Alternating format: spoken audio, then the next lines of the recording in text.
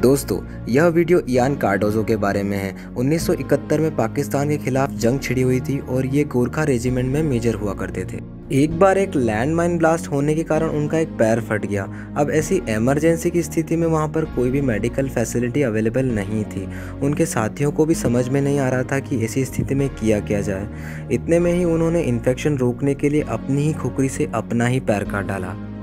Surgery के बाद उन्हें नकली पैर लगा दिया गया। उनके सीनियर अधिकारियों ने उनसे कहा कि अब उनके डिसेबल्ड होने के कारण अब उन्हें आगे प्रमोट नहीं किया जा सकता।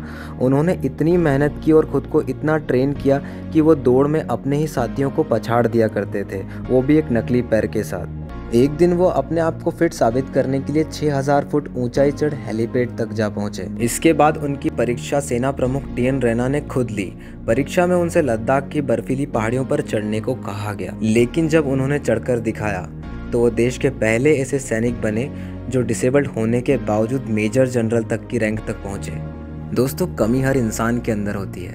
परेशानी हर इंसान की ज़िंदगी में आती है। लेकिन उससे फ़र्क नहीं पड़ता। फ़र्क उससे पड़ता है कि हम किस तरह उनके सामने खड़े हो जाते हैं और उनका सामना करते हैं।